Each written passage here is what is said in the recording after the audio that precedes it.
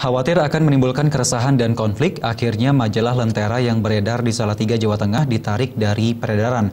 Majalah yang diterbitkan oleh Fakultas Ilmu Sosial dan Komunikasi atau Fiskom Universitas Kristen Satya Wacana Salatiga berisi konten sejarah pergerakan PKI tahun 1965 di Salatiga.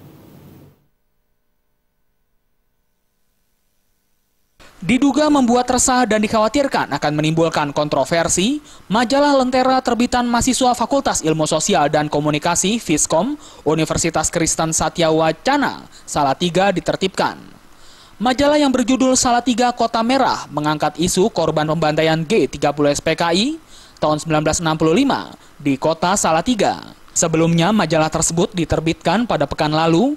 Warga menilai bahwa konten pergerakan PKI dan mengangkat isu korban pembantaian G30 SPKI pada tahun 1965 di kota Salatiga yang dibahas majalah tersebut sangat mengkhawatirkan. Menurut pemimpin redaksi majalah Lentera Bima Satria Putra, penerbitan majalah yang berisi konten korban pembantaian PKI ini didasari atas sejarah bahwa dulu Salatiga merupakan basis PKI dengan penerbitan ini diharapkan agar masyarakat tahu banyak korban PKI yang tidak bersalah di Salatiga. Tapi diposisikan, diposisikan sebagai korban dan itu terbukti dari investigasi yang kami lakukan di lapangan bahwa uh, simpatisan PKI dibantai atau dibunuh, dipenjara, disiksa dan sebagainya. Untuk investigasi, investigasi dari mana, Pak?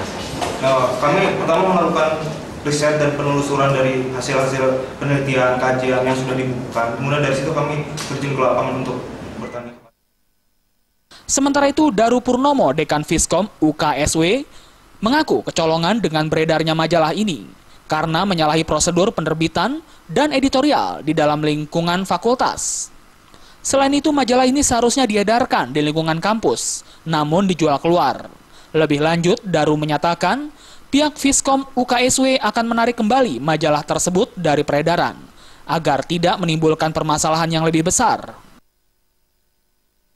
Orang cukup dari situ dia tidak mau tahu apakah dulu atau sekarang. Itulah yang kami mencoba meng, apa, mengkhawatirkan bahwa itu akan memunculkan keresahan, memunculkan opini, memunculkan tanggapan-tanggapan yang berbeda-beda. Sehingga bagi kami kalau itu masih di ranah akademik, kami mampu menjawab secara akademik. Tetapi kalau ranahnya itu dipersepsikan berbeda, lah itulah yang kami tidak. Dari Salatiga, Jawa Tengah, Agung Nugroho melaporkan.